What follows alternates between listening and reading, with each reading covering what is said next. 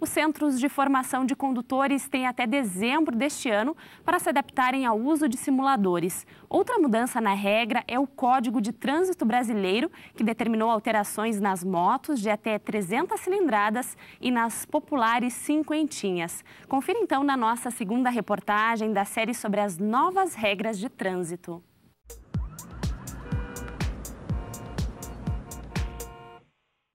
O Rio Grande do Sul tem 272 CFCs. E o detalhe, todos já possuem simuladores. São 353 equipamentos no estado em operação.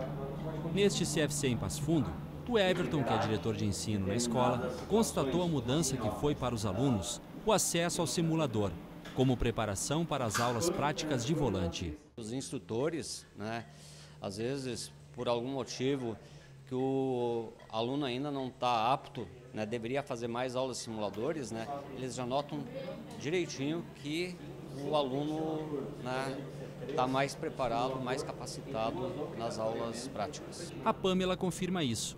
Ela está na quarta aula e já se sente segura para as atividades de volante. Eu não tinha nenhuma noção antes, né? Eu já vim só tenho a carteira de moto mesmo, de carro nunca tinha pegado nada, mas eu acho que já vai ajudar bastante agora para começar. Os simuladores reproduzem todas as condições que o futuro condutor irá encontrar na via quando for dirigir: chuva, neblina, à noite, em estrada de chão, na rodovia ou na cidade. São aulas de 30 minutos o simulador é um protótipo similar aos de teste de piloto de avião. Não é um videogame, embora pareça. Aqui, todas as infrações de trânsito ficam registradas no prontuário do aluno, em conexão com o Detran RS. Ele vai estar vivenciando situações reais de trânsito, né? portanto, antecipando riscos, apurando a, a habilidade uh, fina, né? ele vai passar por questões repetitivas e vivenciais de reação diante de alguma uh, algo inusitado que ocorra durante a condução do veículo, ele tenha que reagir rapidamente. Então é uma, uma tecnologia que traz para o candidato exatamente as situações adversas que ocorrem no trânsito e que ali no simulador ele pode estar aprendendo antes de ir para a rua. E é de suma importância também o trabalho do instrutor em complementação ao simulador, né? Que ele só é válido se tem um profissional capacitado facilitando o aprendizado do aluno. A legislação exige que os alunos tenham no mínimo 25 aulas práticas antes do exame de baliza, sendo 5 em simuladores e 20 com o carro mas tem aluno que necessita de mais aulas. Dia 1 de janeiro de 2014 até agora 1 de janeiro de 2016, certo. são cerca de 2, milho 2 milhões de aulas já aplicadas nos simuladores, né? Uhum. E é uma, uma tecnologia já usada mundialmente, né? Países como a Alemanha, a Suíça, a Espanha uh, já se utilizam desse equipamento há mais de 30 anos, né?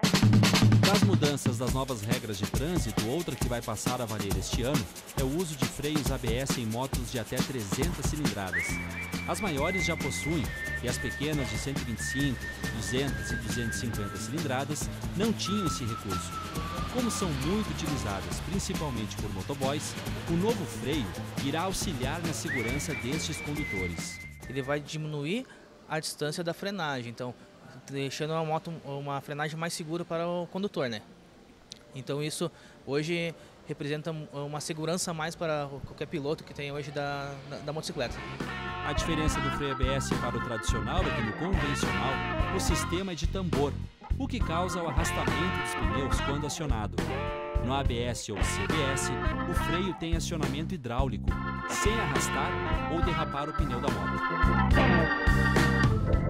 E os condutores dos ciclomotores, as chamadas cinquentinhas, agora também vão ter que possuir carteira nacional de habilitação.